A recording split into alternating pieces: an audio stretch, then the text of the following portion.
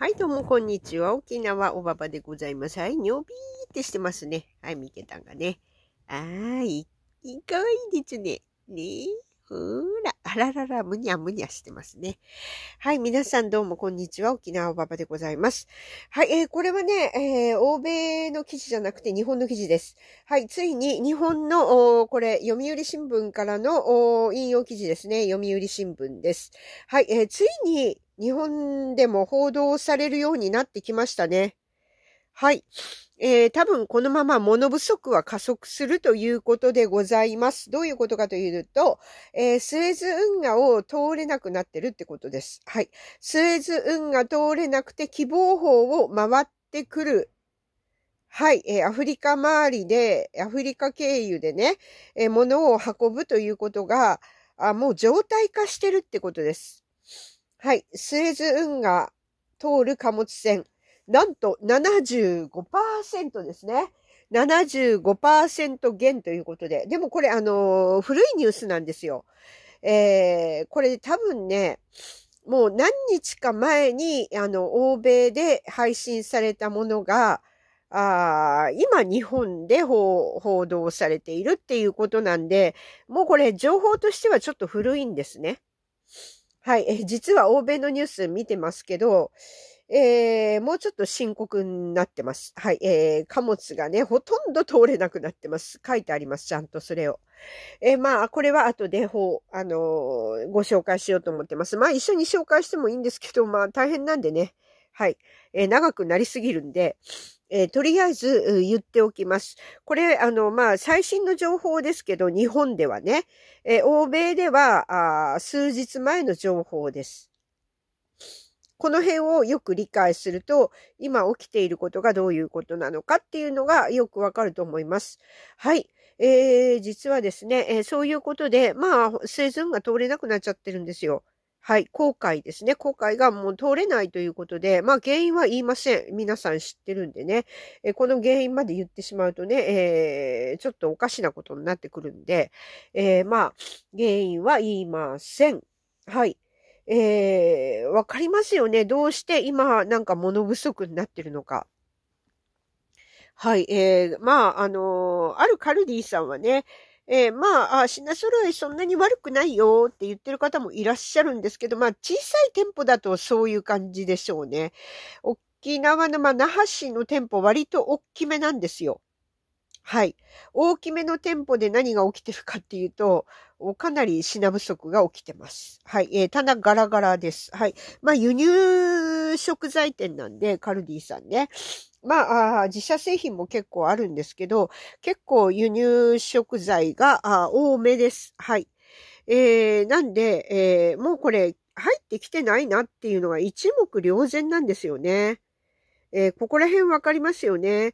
あと、オリーブオイルがすごい値上がりしてるって書いまあ、皆さん言われてますけど、えー、実際、あの、この前見たら、本当に値上がってました。前ね、340円か50円ぐらいで買えたオリーブオイルが、今800円ぐらいしますね。ちっちゃい瓶のやつね。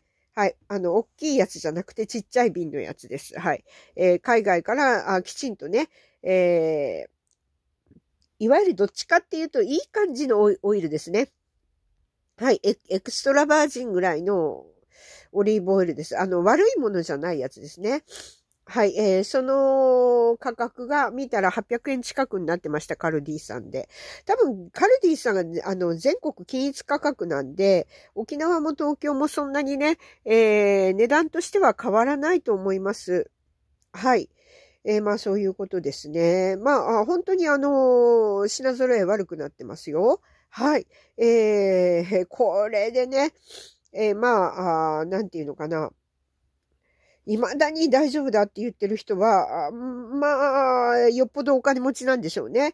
えー、2倍でも3倍でもね、上がっても全然平気っていう人なんでしょうけど、はい。えー、庶民にとっては大変ですよ。はい。え、品不足と値上げ、今後も多分しばらくは続くでしょう。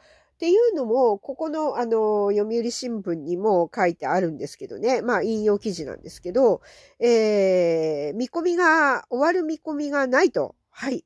終わる見込みがないと。で、喜望峰周りっていうのはかなりね、かなり、あの、時間的なロスと燃料のロスがすごいんですよ。はい。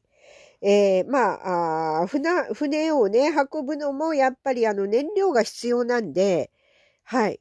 えー、燃料使いますのでね、船動かすのもね。はい。手漕ぎでやってるわけではないんで、はい、えー、燃料が使うんで、その分のやっぱり価格はね、やっぱ上乗せされてくるだろうっていうぐらいの予想は、あいくらね、えー、なんていうのかな、えー、楽観主義者でもそのぐらいの予想は立ててください。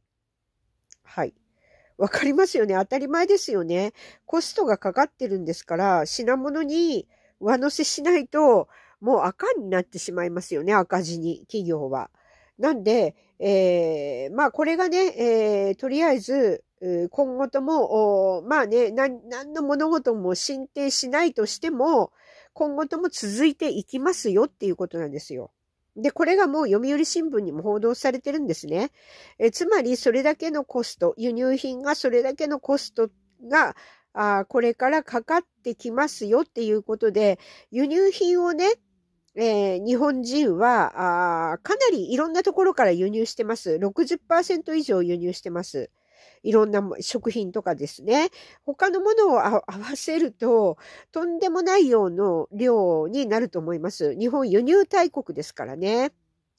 えー、まあ、エネルギーから何から全て輸入に頼ってるんで、えー、まあ、それもね、安くて、安くてね、えー、近いところから輸入してないんで、今はね。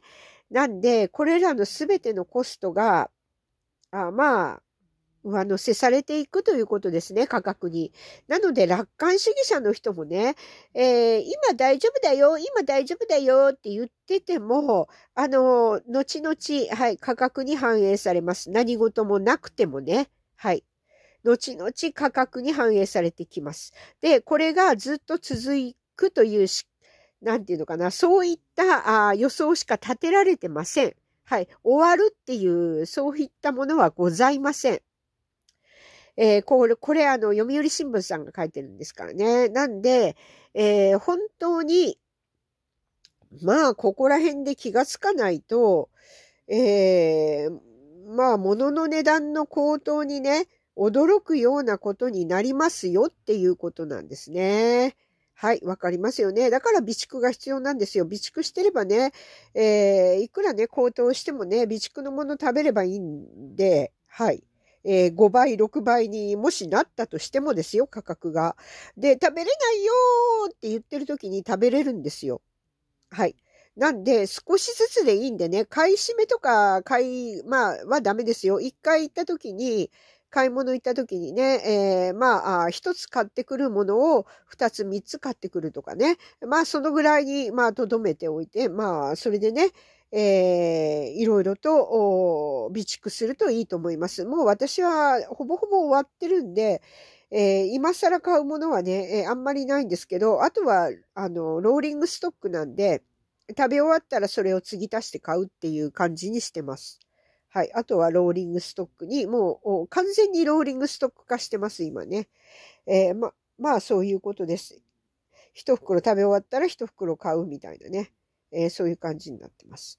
今は。はい。えー、まあ皆さんもね、えー、本当に、あのー、なんていうのかな、本当、あのー、周りにね、えー、どうしようもない人がね、たくさんいると思うんですけど、備蓄の重要性訴えてもね、えー、全く聞こうとしない人がいると思うんですけど、まあそういう人はね、もう放っておきましょう。はい。えー、自分で自分の蒔いた種を刈り取るということになります。はい。これは誰が悪いんでもありません。はい。用意をしない自分が悪いんです。そういうことです。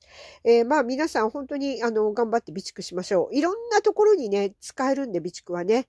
はい。いろんなところに使えます。はい。値段が高くなった時も、おー、OK ですしね。万が一ね、えー、物流が途絶えてしまった時もね、いろいろな事情で、えー、この辺ご理解くださいね。いろいろな事情で物流が途絶えてしまった時にも役に立ちます。はい。そういうことでございます。それではね、えー、皆さん、こちらの記事も貼っておきますんで、もう日本のね、えー、いわゆる、機関も報道するようになってきたということです。それではまた、ごきげんよう、沖縄おばばでございました。にゃー、かわいいでちゅにょー。